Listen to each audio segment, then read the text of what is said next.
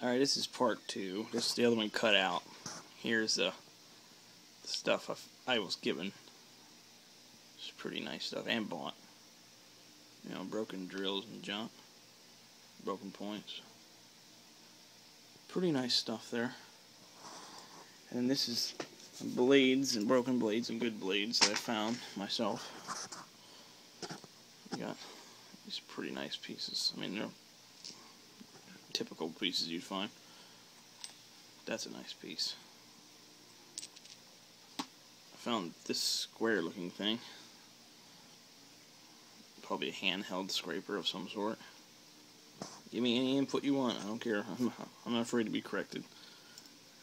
This is a pretty nice knife I found out in the water. Wish it was whole. I was psyched up when I found this one. Found this a long time ago.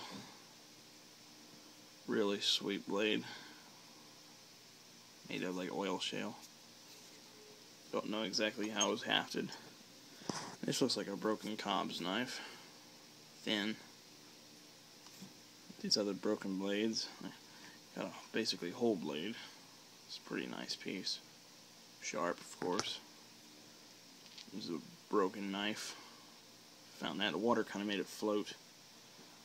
But that's what I got for a, the regular frame stuff. I got one other thing here I'm going to show you. I got this stuff down here.